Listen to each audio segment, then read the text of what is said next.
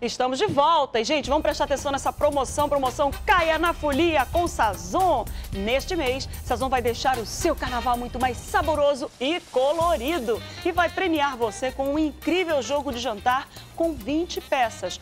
Para concorrer é fácil, basta enviar uma foto criativa com o seu prato feito com Sazon.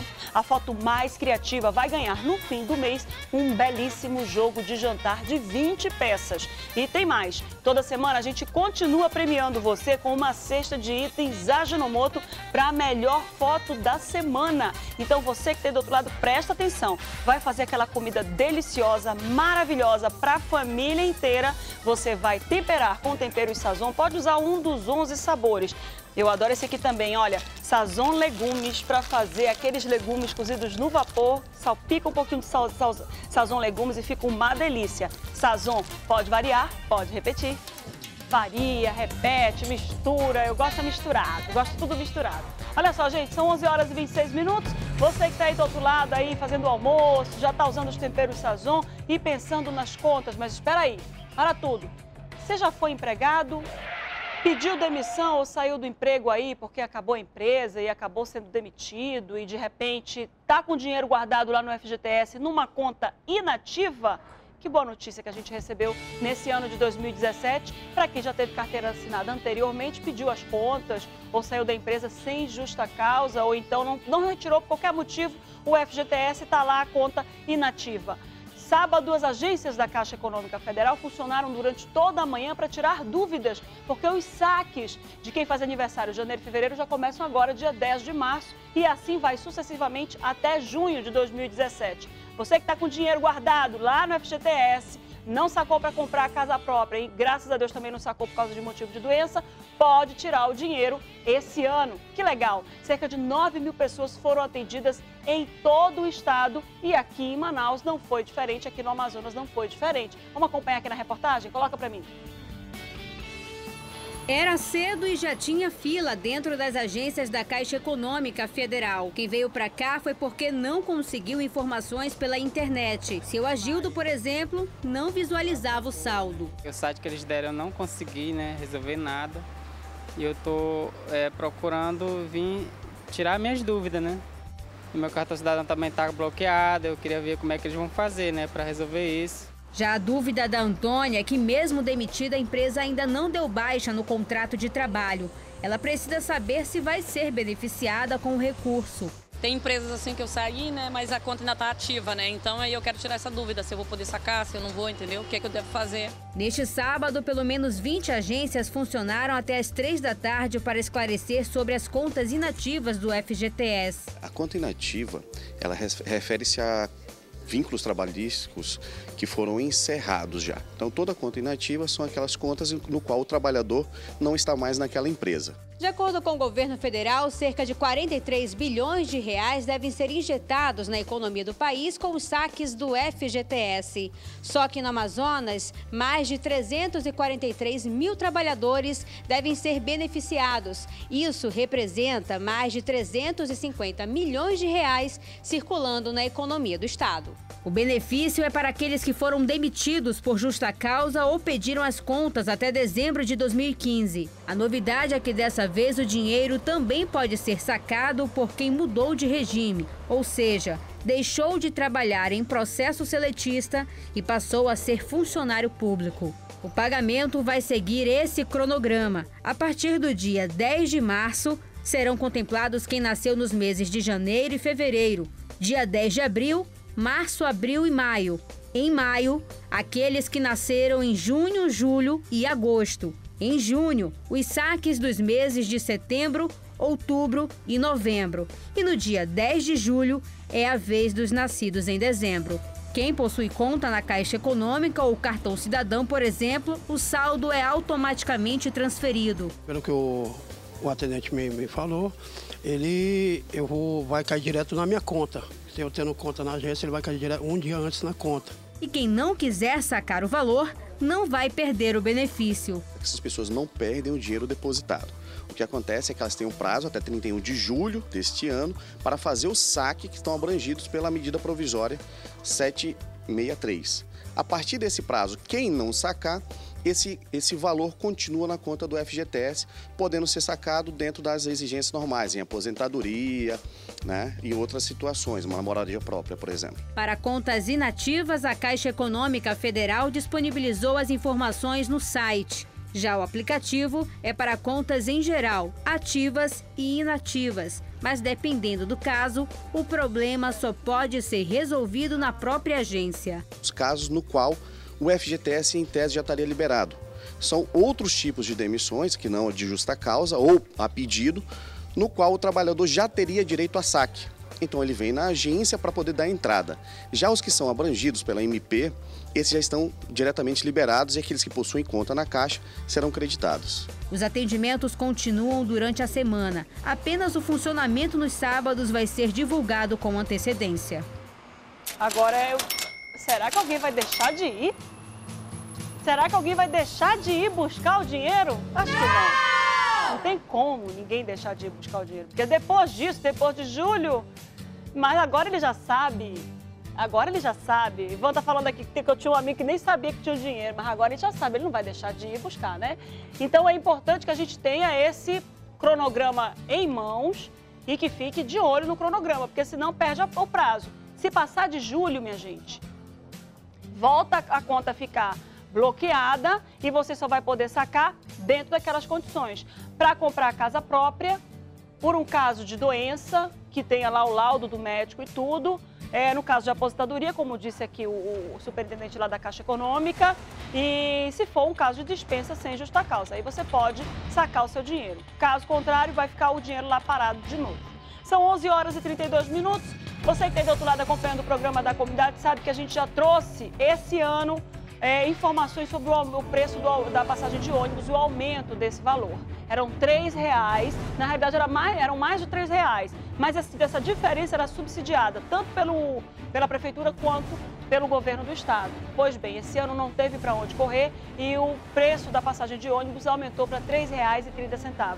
Só que com esse aumento, outros problemas vieram juntos, junto, como por exemplo o troco. Como é que fica o troco se o dinheiro está quebrado?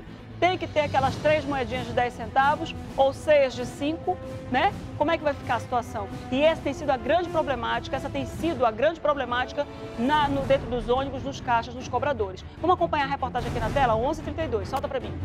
Seu Fernando aguarda o ônibus com o dinheiro da passagem contado, R$ 3,30. Favorecer, né, pra gente também evitar transtornos também, de muitas vezes o cobrador não querer dar o dinheiro ali? Com certeza. Esta doméstica também quer evitar aquela dor de cabeça na hora de passar na catraca. Eles nunca têm, né? Mas aí eu, no meu caso, eu sempre guardo todas as moedinhas para poder tá passando, né? É, mas desde quando o preço da passagem saltou para R$ 3,30 há pouco mais de duas semanas, passageiros e cobradores têm se estressado com a falta daquela moedinha na hora do troco. Eu sou obrigada a pagar a passagem a mais, mas eles nunca recebem a menos, né? Tá difícil, nós temos que dizer que não tem, porque as empresas não ajudam a gente, entendeu? Nós temos que é, trazer troco é, da nossa casa, trocar no comércio para poder passar o troco, para poder os usuários não reclamarem da gente. Nós também pegamos um coletivo para comprovar essa dificuldade. Com 20 reais na mão, pagamos duas passagens que saíram a R$ 6,60. A cobradora demorou um pouquinho contando o dinheiro miúdo, mas conseguiu o troco. A gente deu sorte. Nem sempre é assim. Todo dia eu tenho que trocar.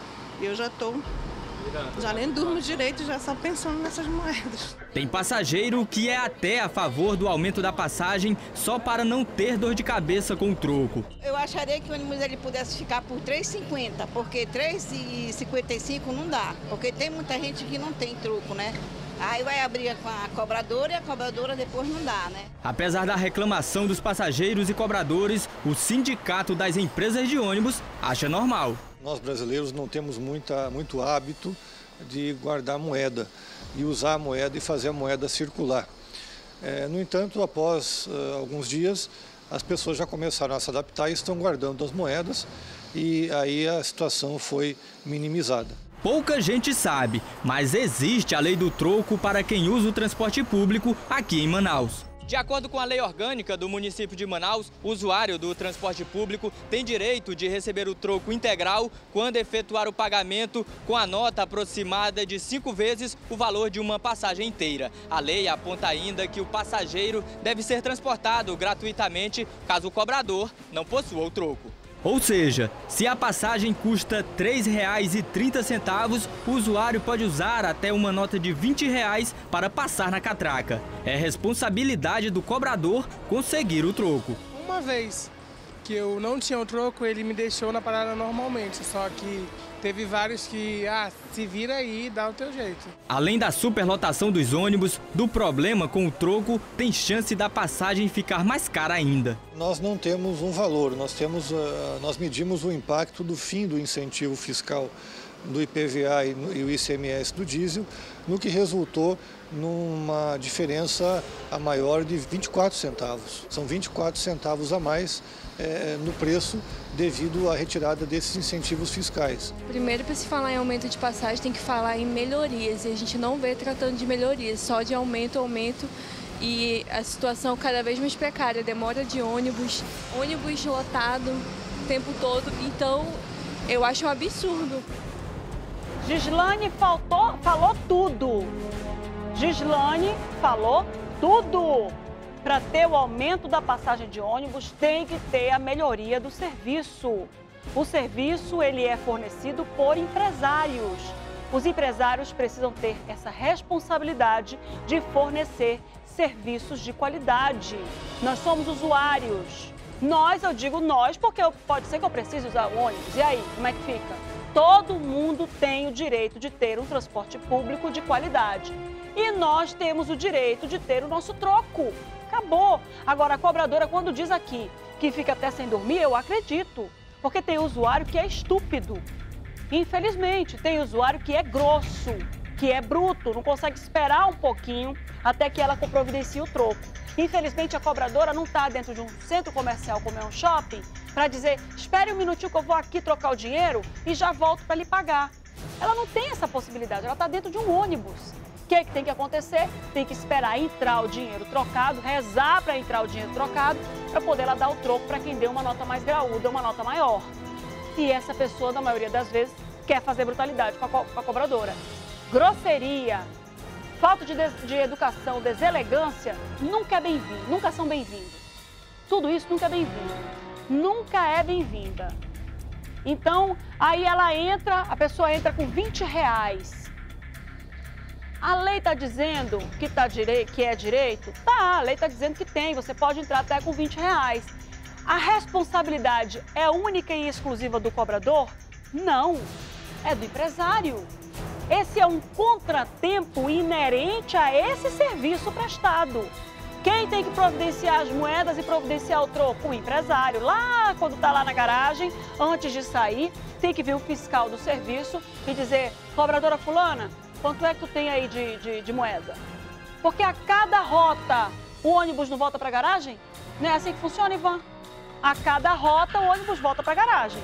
Voltou para a garagem? Vamos lá, vamos trocar o dinheiro. Vamos providenciar aqui trocar esse dinheiro. E não deixar a cobradora também numa situação difícil. Ou vocês acham que a cobradora, todas as vezes que sai lá da garagem, está com o dinheiro trocado? Às vezes tem um pouco do dinheiro trocado. E aí ela vai arriscar, vai à própria sorte né? Às vezes tem cobrador como essa aqui que a gente trouxe aqui, eu acho que é Jane o nome dela, que o Juscelio muito bem disse aqui, trouxe pra gente, fica sem dormir. O que, é que ela faz? Ela mesma providencia o troco. Não tá certo. Não tá certo a pessoa ter um problema e ter que resolver um problema do seu empregador. Quem tem que dar o troco é o empregador. A cobradora, ela só está fazendo o serviço. E é ela que está pegando o problema para ela porque é ela que está com a linha de frente lá olhando o olho no olho do usuário, não está certo. Não está certo. E o usuário, e aí isso não é responsabilidade da cobradora, né? Isso é culpa, isso aí já é responsabilidade do, do, do prestador de serviço. Usuário, chegou lá, cobrador disse que não tem o troco, não te deixou passar, todo mundo tem um pacote de dados, né? Quer te tirar do ônibus? Filma, grava lá, Olha, eu tô aqui no ônibus fulano, porque senão depois como é que você vai provar, né? Tô aqui no ônibus fulano, Tô sem o troco, tá aqui o dinheiro, tem troco, cobrador. A cobradora vai virar a cara, infelizmente, tem que fazer isso. Porque o cobrador também, que não respeita a lei, o motorista que não respeita a lei, que determina que na falta do troco a pessoa pode fazer sua, seu, o seu trajeto sem pagar, então vai também ter que responder processo. Se a empresa está dando ordem, vai provar que está dando a ordem para não deixar entrar. Se a empresa não está dando ordem, o cobrador e o motorista estão fazendo isso por vontade deles, é responsabilidade objetiva, a empresa tem culpa de qualquer jeito. O que não pode é, diante desse, dessa problemática toda, só sobrar para o pobre do usuário. Diante dessa problemática toda, só sobrar para o pobre do cobrador e para o pobre do motorista. Cobrador e motorista sabem como é que funciona a lei. Fizeram direitinho, não tem que ser responsabilizado, não tem que ser desrespeitado pelo usuário, não tem nada disso. O usuário que não faz valer o seu direito, sabe qual é o seu direito, faça a prova do seu direito. Faça a prova do seu direito. Depois procura o juizado especial e diz: olha, a empresa de ônibus não deixou passar, estava com dinheiro lá na mão, não me deram o troco, não deixaram eu fazer o meu trajeto é, sem pagar responsabilidade não é do usuário. O usuário tem que apresentar até no máximo 20 reais. O Juscelio muito bem disse aqui na passagem dele. Quem tem que providenciar o troco é a empresa. Não digo nem o cobrador, porque a responsabilidade não é do cobrador, não. É a empresa quem está prestando o serviço. É dela essa responsabilidade. São 11 horas e 41 minutos. Você que está do outro lado acompanhando o programa da comunidade, liga e participa 3307 3951 3307 3952. Gente, olha, eu vou falar uma coisa para vocês. Eu sempre admirei Ó, o diretor está aqui me dizendo aqui que está fazendo a conta, né? Que, que a, diretor, a, a, cobradora faz a conta lá na hora. Porque tem a cabeça, olha, rápida, acostumada todo dia ali a fazer conta. Eu não faço, né? A pessoa às vezes fica bitolada lá no celular, de pegar a calculadora do celular, às vezes fica lá bitolado. Agora, tem menino que dá um banho, né? Meninos entre 6 e 14 anos que a gente olha assim e fica, hã? Né? Assustado, tamanha inteligência. São meninos assim que a gente vai trazer agora para você que está aí do outro lado. Meninos que são espertos, inteligentes, e que jogam xadrez como ninguém e estão classificados para o Campeonato Brasileiro de Xadrez porque já fizeram bonito no Campeonato Amazonense. Olha só que show! Vamos acompanhar a reportagem aqui na tela? Solta para mim.